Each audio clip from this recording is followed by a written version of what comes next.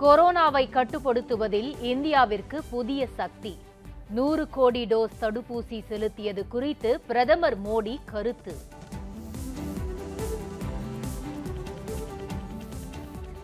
பள்ளிகள் திறப்பின் போது மாணவர்கள் எண்ணிக்கை பிரச்சனையை சமாளிக்க என்ன நடவடிக்கை?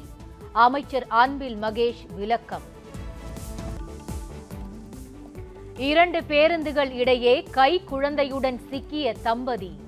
அதிர்ஷ்டவசமாக உயிர் பிழைத்த சிசிடிவி காட்சிகள். ஆரியன் கானை விடுவிக்க ஷாருக் கானிடம் இருபத்தி ஐந்து கோடி லஞ்சம் கேட்கப்பட்டதாக புகார்.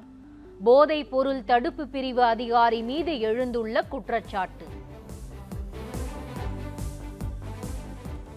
டி டுவெண்டி உலகக்கோப்பை தொடரில் இந்தியா பாகிஸ்தான் பல பரீட்சை முப்பத்தி ஒரு ரன்களுக்குள் மூன்று விக்கெட்டுகளை இழந்த இந்திய அணி. தீபாவளி ஜவுளிகள் வாங்க அலைமோதிய கூட்டம். ஞாயிற்றுக்கிழமையில் கடை வீதிகளுக்கு படையெடுத்த மக்கள்.